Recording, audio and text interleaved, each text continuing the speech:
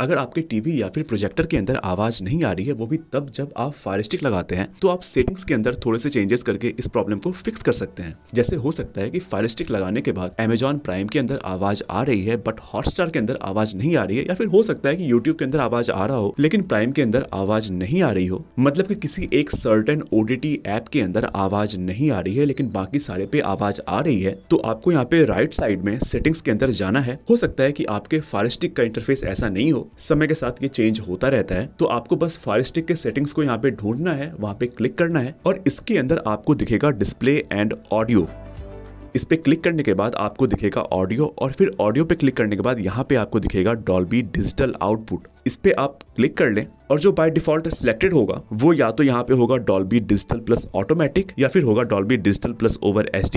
या फिर होगा डॉल्बी डिजिटल ओवर एच अगर आवाज़ आपके टीवी या फिर प्रोजेक्टर के अंदर नहीं आ रही है तो आप यहाँ से डॉल्बी डिजिटल प्लस को ऑफ़ कर दें। तो जो आवाज़ नहीं आने वाली प्रॉब्लम थी, किसी एक सर्टेन ओ टी प्लेटफॉर्म पे, वो यहाँ से फिक्स हो जाएगी। आप ये फिक्स करें, अपने दोस्तों को भी ये वीडियो शेयर करके उनकी हेल्प करें और इस चैनल को सब्सक्राइब कर लें। And I hope this video was helpful for you